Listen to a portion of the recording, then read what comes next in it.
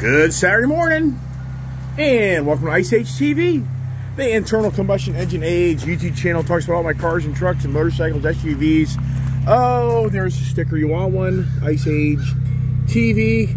Comments at gmail.com. What am I doing? What am I doing? Hey, the kid and the wife have left me. They left me. They're in Tennessee. I'm up north here. A little chillier day. And what am I up to today? It's a Saturday morning. I'm not doing the conversations. I mean, I'm up to something. I mean, if you watch my videos, you'll see that I'm now the proud owner of a bunch of guns. If you watch my channel, I brought a bunch of guns at the gun show. And I did a Jeep, purple Jeep, drive around 392. But what am I doing now? What am I doing now? What do you think I'm up to? I'm on an adventure. I'm going to go buy something.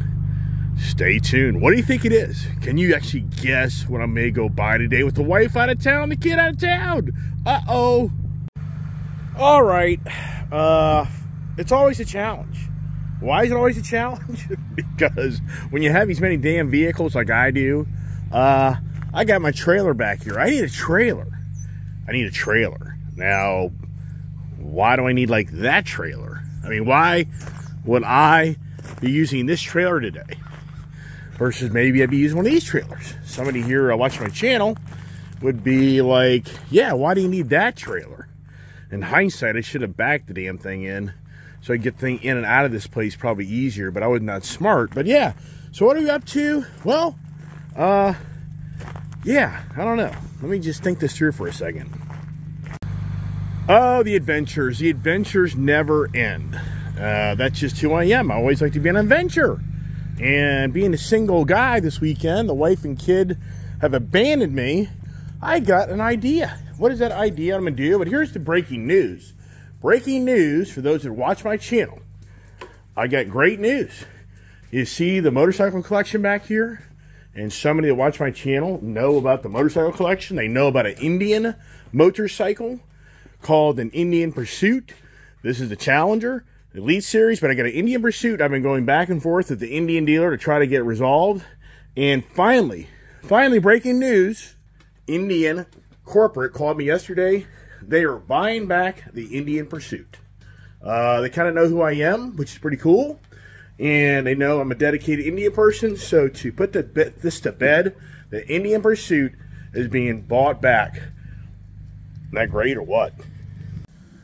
Oh, the week, the week of conversations. If you watch my channel and had the full week of watching it, how I talked about commitments and goals and rejections and uh, I can't even remember everything myself. Oh, negativity and uh, positive. Yeah, it's, it's Saturday morning. I'm just getting going. Yeah, so the week of conversations, commitment, goals, uh, rejection, negativity, and the positive. So on Friday, the positive news finally came through for me to hear Indian tell me they're going to buy back my Indian Pursuit and give me all my money back. Um, wow, that is really cool because it opens a door for me to think about, okay, uh, what do I want next, right? That's the danger. That's being bought back. And I've got some people really interested in Challengers. Some people like, don't let it go. Uh, you know, I've got this thing at a pretty uh, salty price. If somebody paid it, I would let it go. I mean, that's the reality. Uh, I got this thing at a pretty high price. If somebody pays it, I can get another Indian Elite. In all sincereness, uh, you know, I'll be pretty healthy in uh, monies if I sell this bike. So, but yeah, it's not like an urgent thing. But the whole point is, with Indian Pursuit now, you know, coming out of my uh, lineup, if I was to sell the Challenger, I'd only be down to one Indian for the first time for me in like uh, four years. Wow. So, so what am I doing now, right? So what I'm always up to something, and it's very interesting that if you watch my channel, which I'm sure those that watch it are fully abreast of way too many toys. And know, I go to the Honda dealer the other day just to stop in because I was out there picking up some equipment out in their area. And what does it turn into? It turns into, well, they got something sitting in the Honda dealer that I think I'm going to bring home. So if you're watching my channel, uh, stay tuned for the big reveal of what am I buying next. What do you think I am buying next that's a Honda product? What would be your guess? But here's the challenge.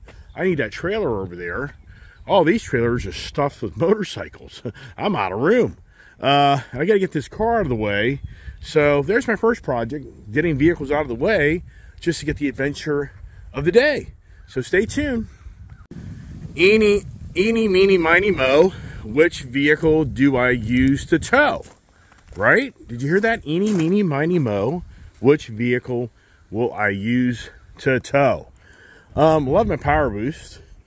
Love the Bronco. I really love this F-250 Tremor. I think this is to be such the right vehicle with the attitude of what I'm going to go buy. I really think this perfectly matches what I'm up to. So I think I'm going to take the rough and tough F-250. I just love this truck. I think I can get that one car out of the way right there. My good old Mustang. I think I'd be in pretty good shape. So uh, it's all about which vehicle do I drive today. Okay. And, Jesus Christ, the race truck's coming back. Could you even imagine if I got that Jeep Wrangler 392 yesterday, purple one, if that deal had gone down and I added that to the driveway and then I added the race truck back in the driveway, is this starting to look like a used car lot? I mean, good Lord. Wow. All right, let's get the good old diesel started up. This thing's low on fuel, so sometimes these things turn off. But yeah, let's take the Tremor. I just love the truck. Just really do. So I'm gonna get this, get the Mustang of the way, and get on our way. Wow, this Mustang here, this thing is just so nice. I mean, this Mustang, with this new Roush H-pipe H-pipe setup. Um, I wish I could do a remote start. I'm going to to do a regular start here, but I'll get out of the car as fast as possible just so you can hear this car. I mean, good Lord. You hear this thing? Jesus Christ. Is it going to be what I think it is?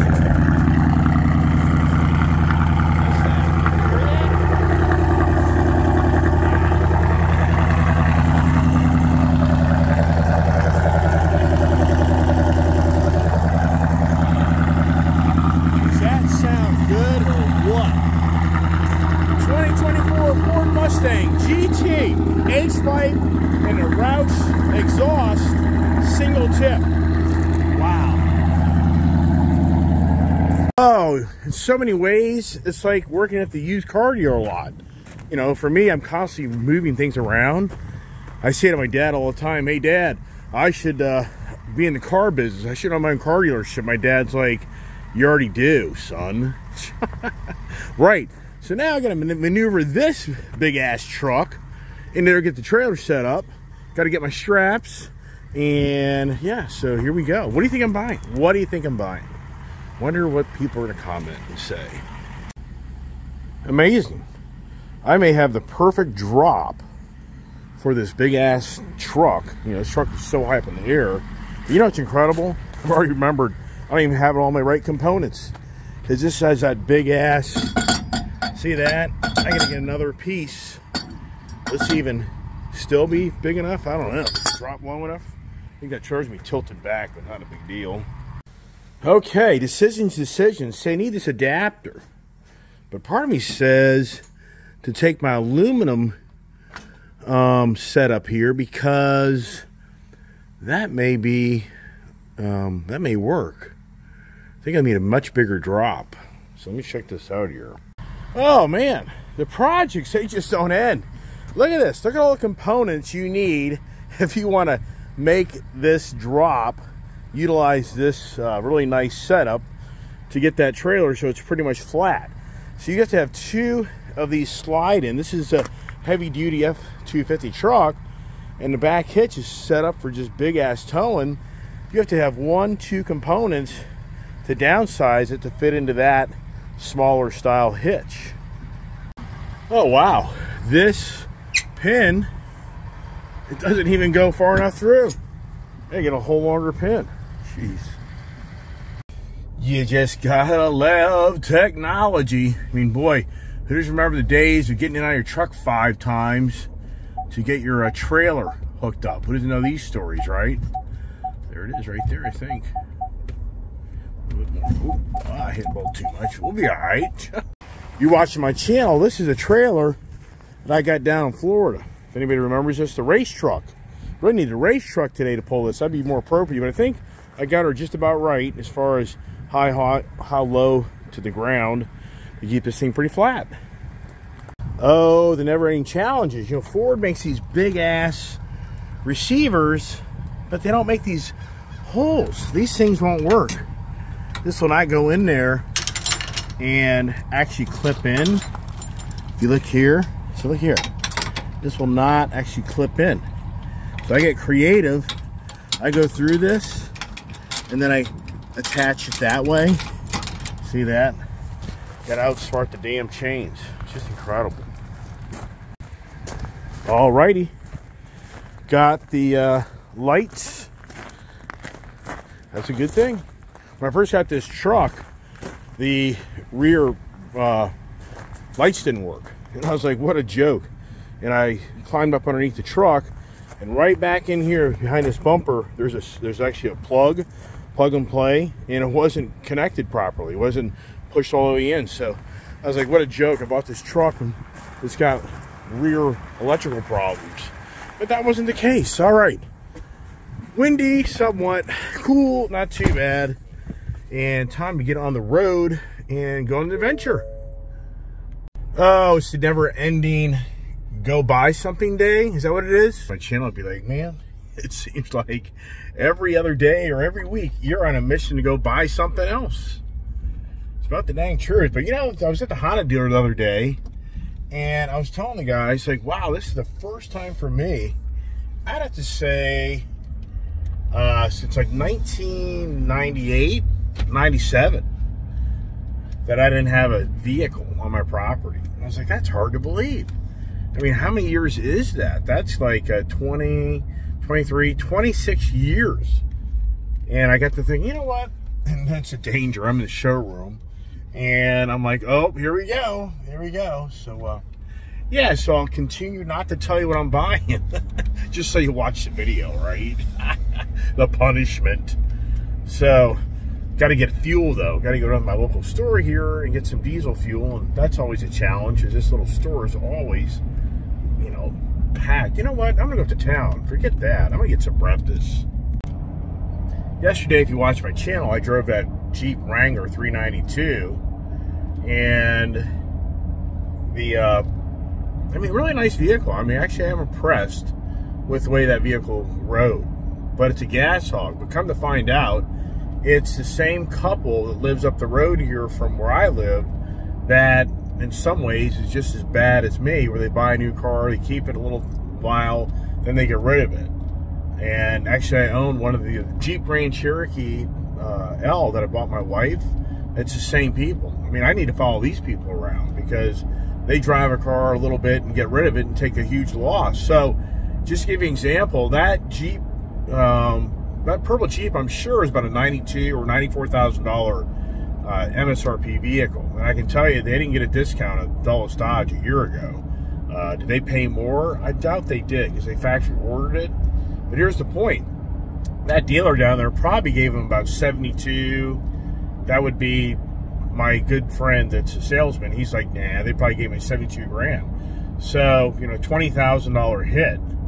And they bought that thing of basically November of last year. Actually, it was December of last year. And they traded in in August. So eight months. So that's two grand a month, close to three grand a month, $2,500 a month of uh, depreciation. But yeah, so am I the one to speak about that? Right. But anyways, other news was when I was going to there to do the test drive, I had to go take care of some business, and Indian actually called me, and the gentleman on the phone was a very nice uh, individual, and he really did know. He, he, basically he's like, yeah, I've seen the videos. Like I know who you are, and, and you know whatever, and. So he said, "Yeah, I mean, what?" he's like, "Well, what do you want to do?" I said, "Well, I prefer if you just buy the bike back." And he's like, all right, you know, I said, I, he's like, I'm sure we can make that happen. He said, would you be interested in another pursuit? I said, you know, as easy as it for me, it's easy for me to say, yeah, let's just swap out bikes. I was like, I don't know. I don't know if I want another pursuit. And maybe on a Roadmaster. I don't know. I said, really, I would prefer just you guys to buy the bike back and then I can just start from scratch. I can go to the dealership. I'd rather probably get a 24 Indian if I go to the Indian again. I wouldn't get a 23. Um, so I said, you know, let's just start from scratch and and let's just do that. And he's like, that's fine. He was like, I'll be more than happy to make everything work. And uh, and they're going to take the bike back, and they're really going to take that part, that bike apart, to really figure out what's going on because he uh, he claims that you know this isn't as big a problem as maybe some out there are trying to you know make it sound. I guess he's probably in some ways, you know, sending me a message like, "Hey man, don't ruin the Indian Pursuit brand because." There's a ton of Indian pursuits out there that aren't having this issue, so please don't get too radical on me. He didn't say that, but I think that's what he's kind of implying. It's like it is not uh, you know, we're not buying back a bunch of Indian pursuits. So we're getting the, the, these problems resolved. But anyways, really great. I'm so glad Indian took the uh, the position to do that. And now I just feel like, for me, they respect me, and that's what it's all about. You know, I talk about that all the time. We all want to feel like you're respected by others for uh, a challenge you have. So uh, there's the update on that as I head to town, get some diesel fuel, and get some Breftus.